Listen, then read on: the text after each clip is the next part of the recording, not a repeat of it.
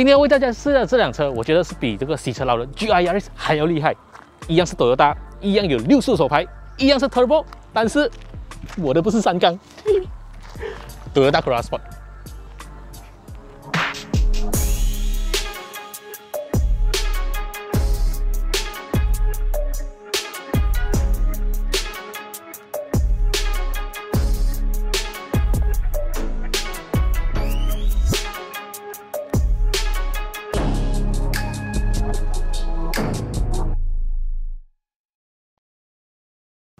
在车头部分，这个 Corolla Sport 它采用的是 Toyota 最新的 King Look 家族式全脸造型，但是它的这个房车版棱角分明、比较硬朗的这个锐利的线条设计相比呢，这个掀背版它就看起来比较圆润。但是这个圆润的同时啊，它又极具侵略性。我们可以看到有很多夸张的这线条设计了，然后这个大嘴巴呢，整个是很有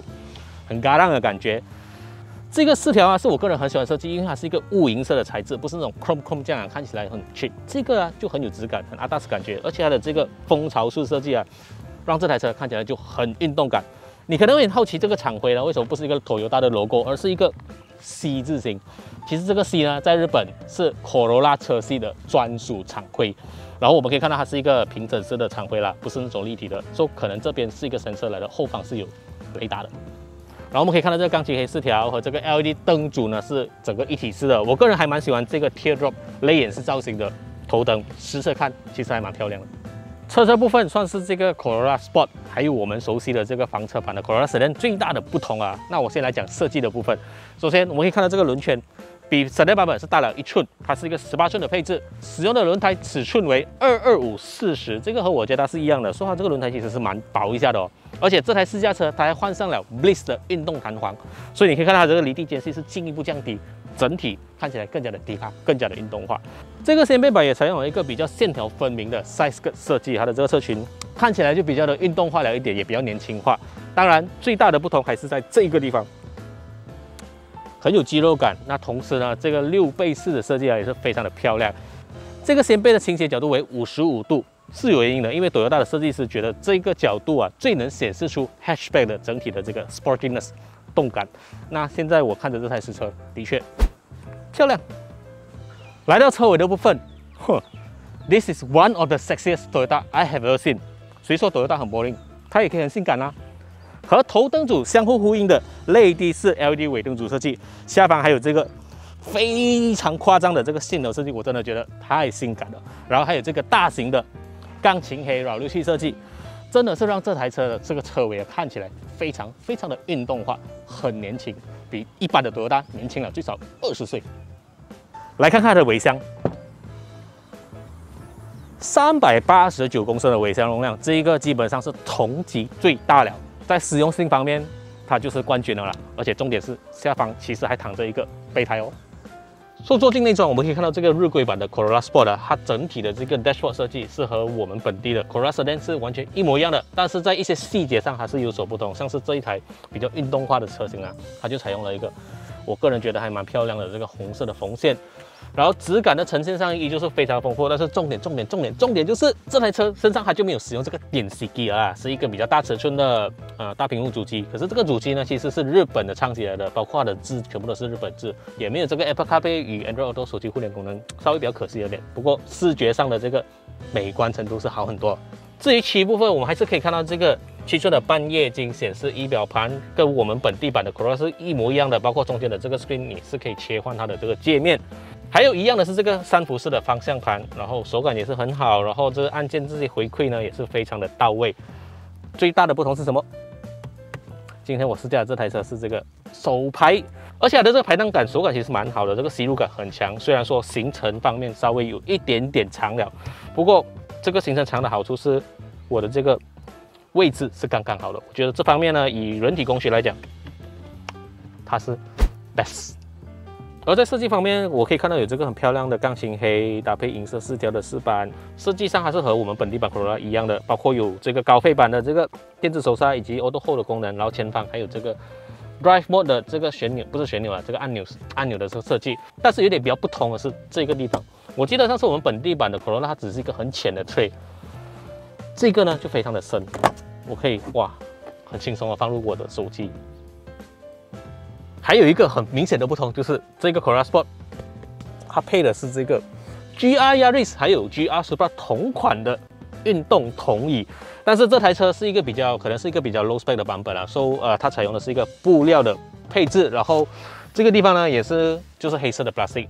因为我记得在日本呢，这个 Corolla Sport 它可能是有这个选项或者是高配版本，它的这个筒椅呢是采用皮质，而且是红黑双色，然后这边呢也是比较精致，就是可能有银色的一个设计了，那个就真的是很漂亮。但是 anyway，这个布置的座椅其实坐起来它的包覆性还有它的这个舒适度啊，我是觉得是 good 的，它的支撑性也非常的好，所以我觉得这方面这个腰靠这边它的支撑很够了，所以我期待等一下它带给我的感受会是如何。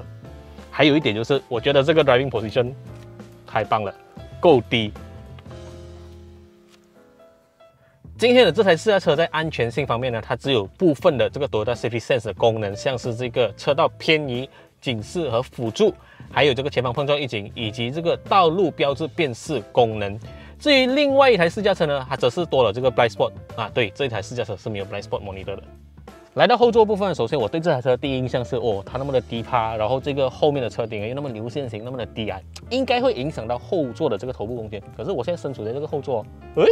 我的身高还是一六八，那我上方这个头部空间居然还有一个一个拳头多的距离哦。那如果是和它最直接的这个同级对手，也就是 Mazda 3 Hatchback 相比的话，我记得啦，我印象中啦，这个 Corolla Sport 它的头部空间是比较好的。那接下来就讲空间部分，前方有这个。同椅设计哦，似乎没有太过影响到它的这个腿部空间。前方还是我的标准坐姿。那我现在坐在后座，有两个拳头多的一个距离。其实我觉得以一台 hatchback 来讲，已经是非常的够用了。而且它的这个椅垫的支撑也其实也相当的足够了，就在长度方面来讲。但是我觉得可能可以再高一点，就支撑方面会更加的好。不过 anyway 还是 OK 的。唯一我觉得和这个 Cross Sedan 相比啦，它稍微比较不足的地方就是它的这个椅背。比较挺直了一点，But anyway，我觉得坐长途的话不会影响到这个舒适性太多，唯一可能会影响到的是，还是稍微有点压迫感啊，加上它又采用这个黑色的车顶的设计，会比较局促了一点。还有就是这台车后座是没有这个空调出风口的，有点可惜。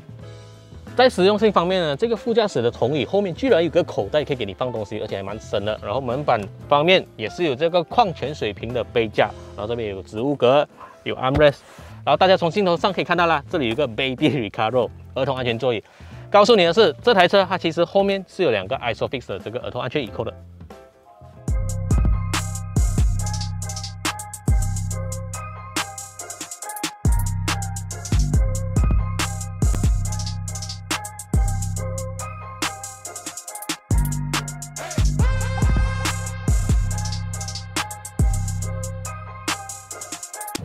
对，说现在我是在这个市区的路段开着这一辆手排车。那其实这个手牙的给我的感觉是，第一个感觉是它其实如果要当是一辆普通车来开的话，我现在在这个 normal 驾驶模式，其实它很容易开。它的 setting 就是那种真的是买菜车的 setting 啊，就包括这个方向盘手感，还有这个换挡，它的这个档位的这个调教。不大会失火，然后进档、退档那些都很容易，一切都很就手的感觉了。激情驾驶的时候，它的这感觉会是如何呢？这个我就有点好奇了。好像我现在 OK 起步，它的那个离合器的切入点很轻松啊。我会讲它是辆很容易开的手排车。这个换挡的手感，其实它的吸入感还蛮好的，只是讲它这个行程。如果相比起我之前开的那个 Suzuki Swift Sport，它就稍微长了一点，就稍微比较模糊了一点了。不过它的那个吸入感还是很好的，手感来讲十分呢，我我觉得我可以给它一个六七分没有问题。嗯，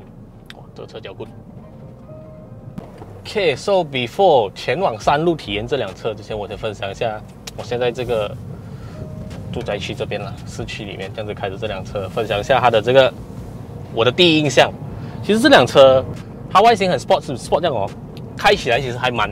蛮得心应手的，尤其是它的这个手排，出乎意料的很容易上手。我觉得刚考到 B 牌的朋友们啊，你们都不用担心什么死火这些。我该这样子等红绿灯起步的时候啊，那个一号牙，它的那个离合器结合的那个方式啊，非常的容易。不是那种你稍微放高一点就会失火那种那种性能车，没有没有没有。这两台其实还蛮家用的感觉的，就是真的是很 friendly。整体的这感觉，包括这方向盘手感这些啊，也是。我现在是使用这个 normal 的驾驶模式啦，就整个就是很 city car 的感觉。虽然讲账面上来说它的马力只有一百一十八 PS，但我觉得这个加速感，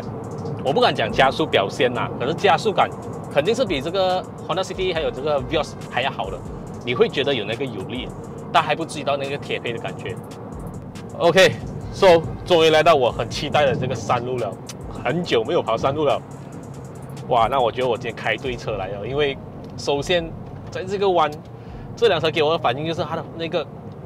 车头跟车尾的响应非常的灵敏，非常的快啊。OK，前面有个弯，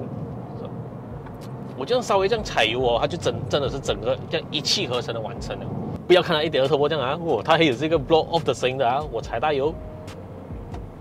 啪，嚯！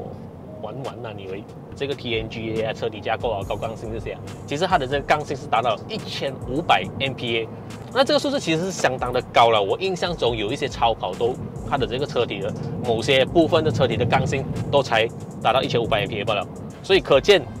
这辆车它的这个刚性其实真的不是玩玩的。加上这一台车，它还有一个被称为 Active Cornering Assist 的功能，这个功能主要是当这个系统侦测到这台车子在转向不足的时候，也就是 understeer 的时候呢，那还会透过一个小动作，那就是 apply 这个刹车在内侧的车轮，来给你点一点刹，这样子来给你做到可以弯更多的这个动作。OK，那现在我前方开始这个弯道也比较刁钻了一点，perfect，真的，这个是我第一个感受，尤其是开着这个手台车，然后它的这个低重心真的是哇。这辆车整辆车尽管是辆前驱车，可是它是贴着去的。退档，退档，再退档。哦，我记得我之前在开这个 Corolla Sedan 的时候，我就已经是对它的整体的这个底盘的设定啊是印象深刻了。就是这台车开起来虽然很舒服，可是它又很运动化，然后整个动态表现呢。真的是非常非常的可口。那我现在开着这个掀背版的 Corolla Sport，我觉得它在整体的这个运动化的呈现上呢，又是更上一层楼了。尤其是在这个路感的呈现上啊，我觉得它给我的这个回馈是比之前那个房车版还要更加的多，更加的好玩。我真的现在禁不住一直在笑，因为真的是太好玩了。这辆车虽然不快，可是它给到我很多快乐。如果你问我的话，其实我比较喜欢这样的一个设定，因为真的是比较运动化。那但同时还有没有牺牲太多的这个舒适？所有路上的完全一个坑、一个洞、一个不平，它的这个悬吊都有给我这个 feedback，也让我可以更清楚的知道我应该要在下一个弯道应该怎么做。我觉得驾驶乐趣应该就是这样子。哇，那这真的，这真的是完全展现在这一台 Corolla Sport 身上了。哇，我觉得这辆车真的是它的车尾跟车头响应真的是太好了，很少有推头的感觉啊。加上我觉得一一方面有刚才我讲的这个 Active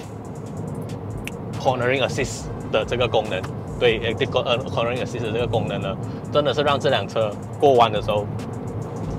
漂亮。再来有一点我觉得很 sweet 的地方呢，就是这台车它的后悬吊是采用这个 Double Wishbone 的。那现在其实我在的这条山路上面呢，其实它的路是 不是很平坦，然后这辆车又改了运动悬吊，我是觉得这个 WH1 在这一边呢，完美展现了它的优势，因为我可以很明显感受到车尾的这个律动呢，它是左右都有在吸收这个不平坦所带来的震动的。这个好像是我开的，不管是第三台还是第四台的这个 T N G A 车款啊，在这一个山道上，那我真的觉得。这一个底盘在这一种弯道上，紧凑的弯道上，它真的是棒。虽然讲它是 turbo，可是我觉得它整体的这个在弯道上的加加速的那个感觉还是蛮线性的，很一气呵成的感觉。再加上这辆车其实它的重量只有一千两百四十公斤，以一辆 C segment 的这个轿车来讲啊，其实不算重。那这一个体重的优势呢，也完美展现在这个弯道身上，因为它真的是有那种很灵巧的感觉，身手很灵活，很灵敏。这个动态表现呢，又是如此的线型。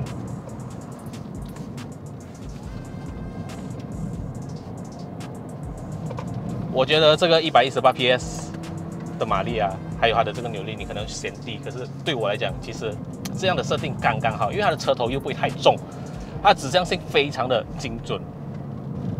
而这个方向盘呢也是很紧很紧凑啊，所以真的是我要去哪里，它就带我去哪里这样的感觉。我觉得这台车的这个配重其实还蛮 balance 下的，真的是你要去到很非常的极限了，它才会稍微有一点推头的感觉。那你平常这样开啊，开到稍微比较激烈一点，它都还是，我觉得它的这个极限是很高。哇哦，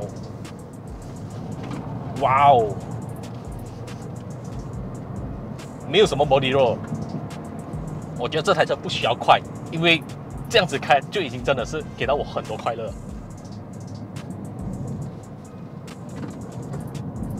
稍微收收油门，再点一下油门。那个弯就做到了，非常的容易，而且一般上那种大马力的涡轮掀背会有的那种在过弯的时候会有的推头的那种感觉啊，在这辆车身上完全没有。这辆车其实真的，我觉得不需要拉到太过高转，到一个四五千转的时候，它这个扭力就完全释放出来了，就真的是最饱满的时候，然后再进一个档呢，整个那个动力衔接就很 perfect 了。我我觉得我其实也不需要做太多的 h u and toe，它的这个动力衔接都做到很好。一方面是因为我现在这个运动模式之下呢，它是有这个 IMT 的，我相信或多或少它是有这个自动补油的功能啊。然后你看在这种连弯上，轻轻松松，我甚至不需要对这个方向盘做太多的这个摆动的动作，它都能够过到这种急弯。这个动力组合，我觉得比起 Corolla Sedan 的那个1.8 NA 加上 CVT 呢，是好太多。哇，然后这个刹车也是 perfect，刚刚好。开着这台车，你不需要有太多的这个思绪，因为真的是你你所有的这个指令都是非常的直接的。你要它慢下来，你就收油；你要它去，就踩油。然后你稍微点点一点刹车呢，它就直接给你。你要的那个动作哦，这个不是所有车子都能办到的一个东西。它的这个整体的这个平衡性 balance 非常的完美。我没有想象到一台定位 city car 的这种都会都会型的日常用车，可以有这样运动化的一个反应一个表现。这点是让我感到蛮 surprise 的啦，也是让我对这台车改观。上一次这个 Corolla 呢已经给到我很多的开心，很多的满足了。那这一个 Corolla Sport。这个 Hatchback 版本呢，我的嘴角上扬更加多，真的是好玩。今天在试驾了这个掀背版的 Corolla 过啊，真的是让我对 Corolla 这个名字有所改观。Corolla Sport 这个名字取得好，因为它真的是有 Sport 到。重点是它在给你一定的这个操控性、驾驶乐趣的同时啊，它还兼顾到实用性。那今天的这个试驾影片呢，我们要感谢这个 First Mouse Auto 慷慨的借出这台。二零一九年的 Crossport 给我们试驾，哇，真的是让我体会到手牌的这个魅力了。那他们其实现在手头上是有几台现车正在出售的啦。那价格方面呢，大家可以参考这个列表，就是这个 price range。其实这样子的一个价格买到这台车，我是觉得还是蛮值得的。你不止买到形象，买到运动化，你还买到操控，买到乐趣，同时又买到实用性，而且它还很 unique。不是我不要上你的丰田，是你的丰田不够特别。说不知道大家觉得这台1.2 Turbo 的 Toyota 如何呢？欢迎在下方发表你的看法。我是小明，喜欢这一期影片的话，记得给个赞，还有就是分享出去。当然，最重要的是订阅我们的频道，以及点击那个小铃铛，说我们有新影片的话，YouTube 就会第一时间通知你。我们下期节目再见啦，拜拜。